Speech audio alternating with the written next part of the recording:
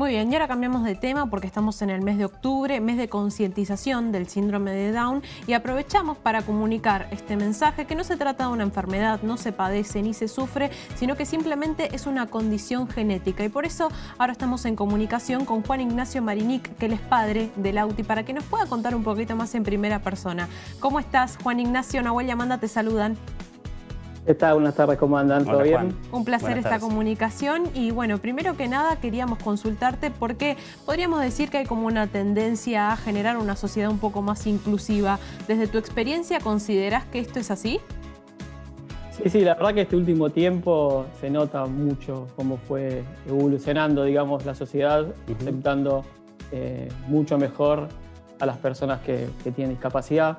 Eh, la verdad que es un crecimiento importante, creo que para todos, de aprendizaje, tanto para la persona que tiene discapacidad como para las personas que comparten mm. eh, tiempo con, dichas personas, ¿no? Claro. Juan, te saluda Nahuel y con respecto a esto del aprendizaje, ¿cuánto aprendiste vos en todo este proceso y cómo fue eh, la situación cuando te enteraste sobre, sobre el AUTI y cómo hiciste para proceder, ¿no? En ese momento me imagino con un montón de interrogantes. Sí, la verdad que al, principio fue, fue difícil, o sea, fue, fue choqueante, mm. digamos, la noticia.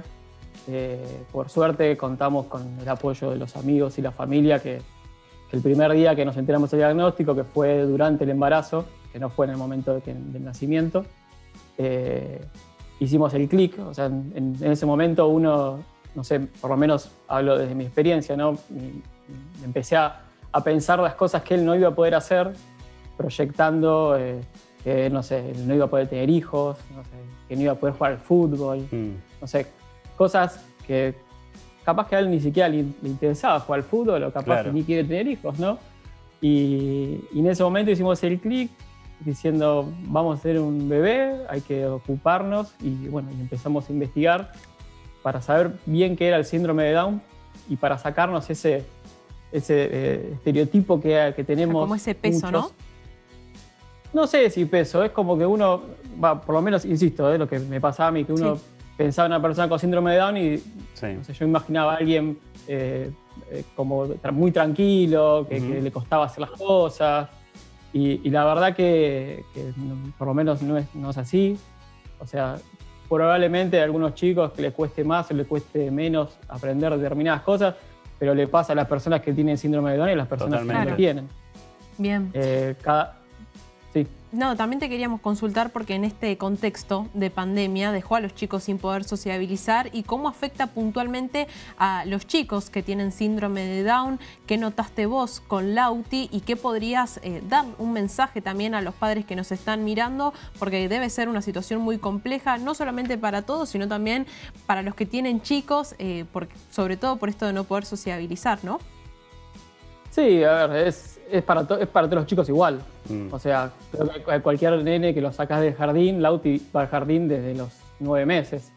O sea, él todas las mañanas jugaba con sus compañeros y de repente se encontró en una situación donde tenía a los papás trabajando todos los días de las 8 de la mañana a las 5 de la tarde y, no tenía con, con, quién jugar. O sea, si bien obviamente uno se hace el tiempo para poder estar con él, el, trabajo te, demanda, nos demanda mucho.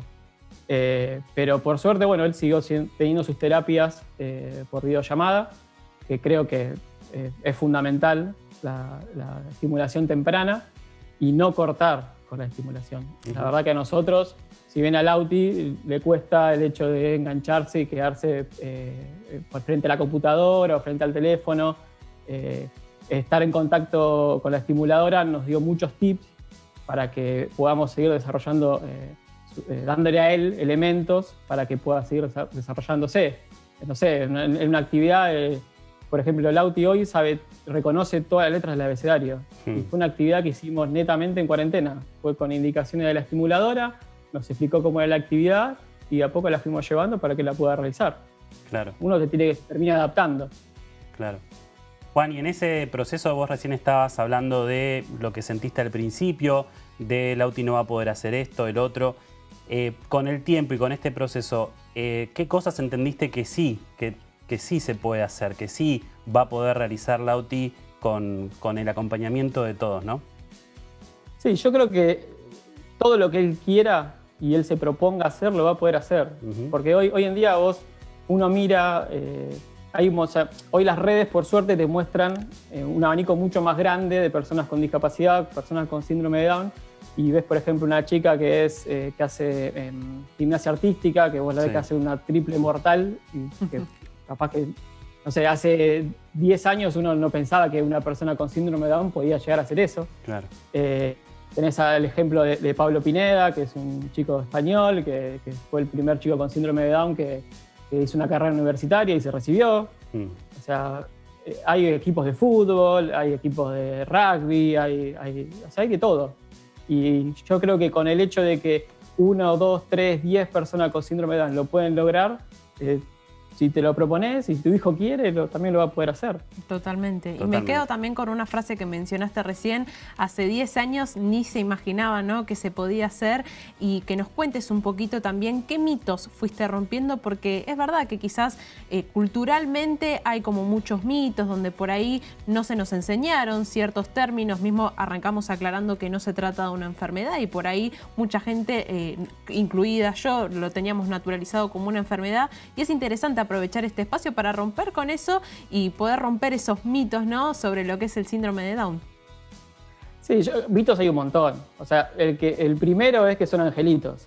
Mm. Eso te puedo asegurar que no son angelitos. Por lo menos mi hijo no es ningún angelito. Mm. Eh, se porta bien, obviamente, pero obviamente como todo chico, tiene sus berrinches, sus caprichos, hace lío. Eh, después, no sé, el, mito de que eh, son chicos especiales para papás especiales. Son chicos, punto. Tienen síndrome de Down, nada más. y después, eh, en este momento no se me ocurre otro, pero hay un montón de mitos. Eh, déjame, que, déjame hacer un poquito de memoria. Eh, pero bueno, ya el hecho, por ejemplo, como mencionabas recientemente, de, las chicas o los chicos que quizás son como una influencia, ¿no? Decir, wow, mirá lo que logró, que quizás antes no se creía, eso ya es como romper un mito también, ¿no? Sí, bueno, me acordé que, muchos hablan del cromosoma extra del amor. Sí. Que dicen, no, tiene un cromosoma. a, mí, a mí personalmente no me. Es, como eh, encasillarlo en algo. Claro. O sea, Lauti hay días que es amoroso, que viene, te da 10 besos, y otro día que está de mal humor y no tiene ganas de darte ningún beso. Como todos. exactamente, o sea, como todos. Totalmente. Muy bien. Te queremos agradecer mucho por este tiempo al lado de la ciudad, Juan Ignacio, por ayudarnos a adentrarnos un poquito más en este tema y poco a poco ir rompiendo esos dichosos mitos. Así que muchas gracias por este tiempo al lado de la ciudad, segunda edición.